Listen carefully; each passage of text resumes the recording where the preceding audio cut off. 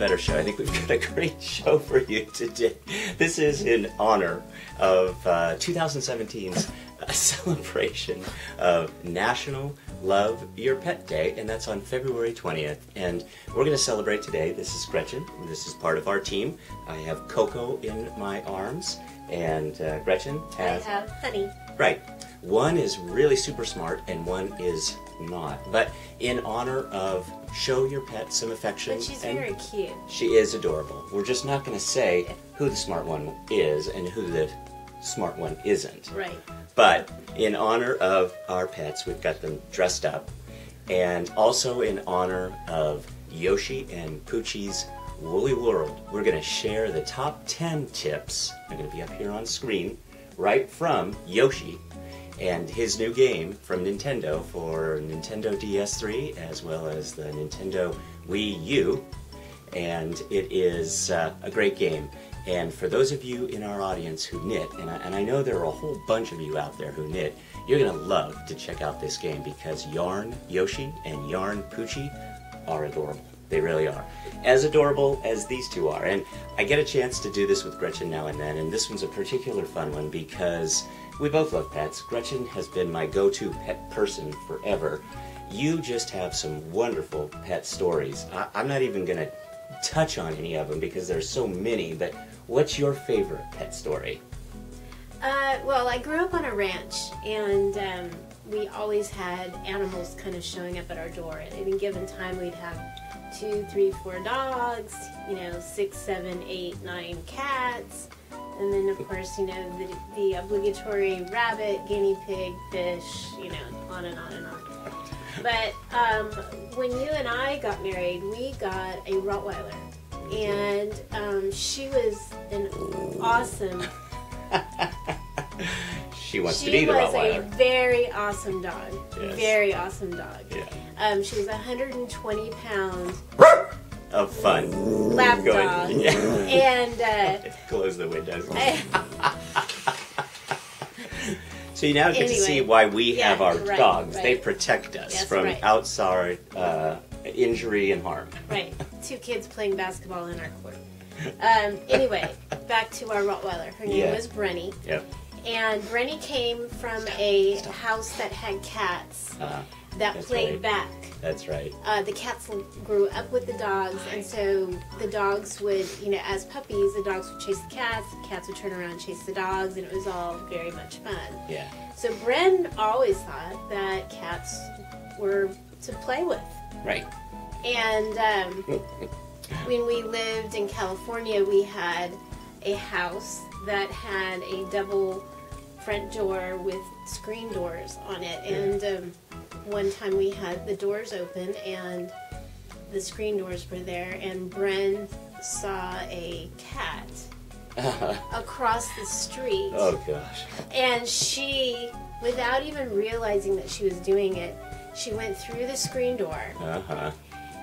And in the process of getting to the cat across the street, flattened our lamppost in our front yard. Yes. Um, and it didn't even phase her. And she cornered the poor cat in our neighbor's garage across the street. And I don't think that cat was ever the same.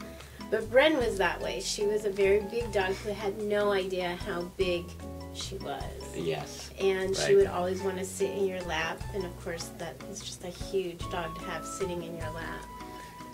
She was a dear dog, She really and was. we pampered her. We what did we do Well, on she a was weekly our basis? first baby. She was our first baby. you know, we had her before we had kids. Right. So she. So we groomed her weekly, and we had a name for that. Yeah, Buff and Fluff. Buff and Fluff. right. Right.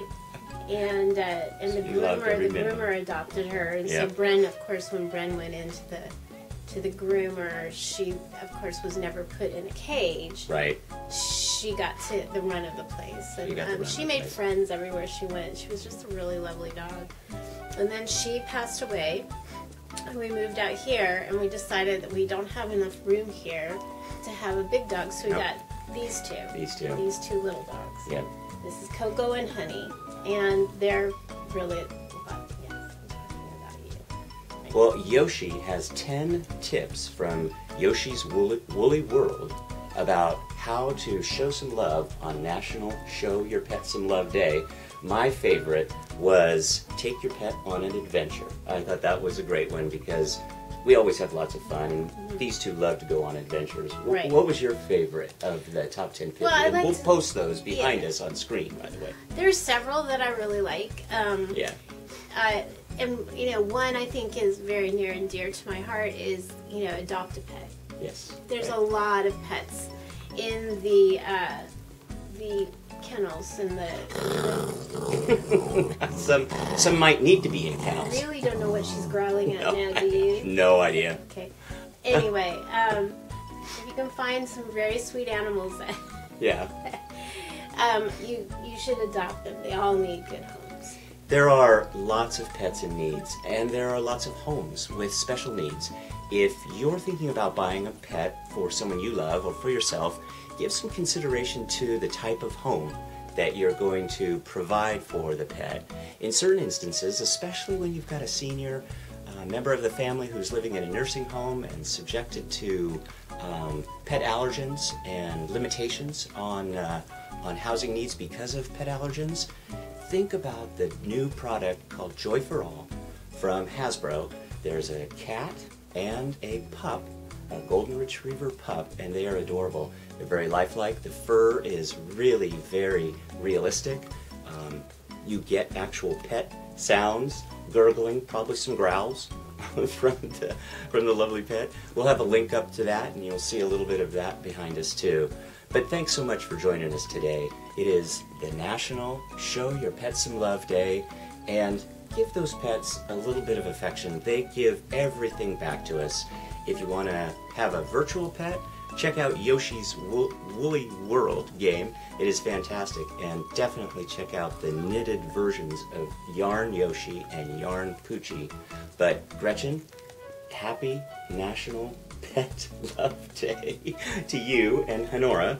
And Coco wishes the same. And one of the other uh, great tips that Yoshi has is to uh, give your pet a high five. So I want to give Honey a high five, and you want to give Coco a high five? There we go. So thanks for joining us on the Not Old Better Show today on the 2017 National Show Your Pet Some Love Day.